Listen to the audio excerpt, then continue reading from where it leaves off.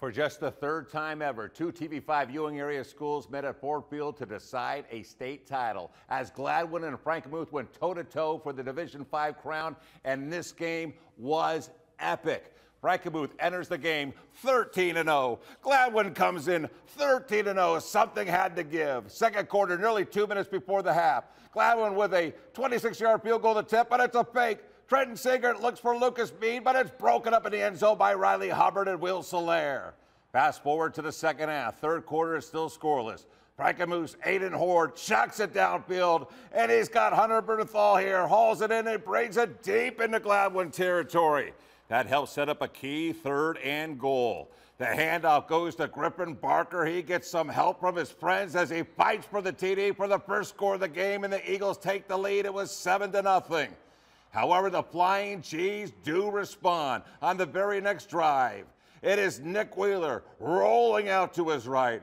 Fire was over the middle here. It's caught by Caden McDonald. He shakes a few tackles, cuts to the outside. He gets into the end zone. Touchdown, Gladwin. We're tied at seven. Fourth quarter, Gladwin with the ball with under three minutes to go. Wheeler fakes the handoff, scrambles out of the pocket, but makes the throw to Lucas Mead. He breaks free down the sideline, a stiff arm on a defender before being brought down past the 30. Gladwin would go for a 28-yard game-winning field goal. Trenton Sager is up. It is good. The Flying G's are your Division 5 state champions. 10-7, the final score.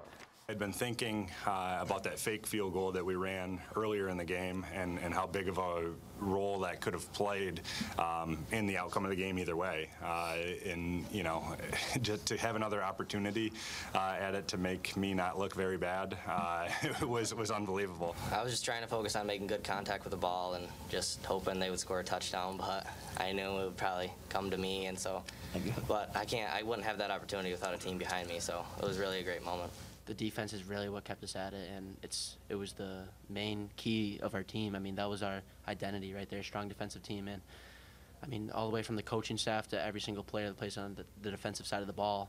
I just couldn't be more proud of you guys. This is the first football state championship in Gladwin school history. Congrats to the Flying G's and the Frankenmuth Eagles.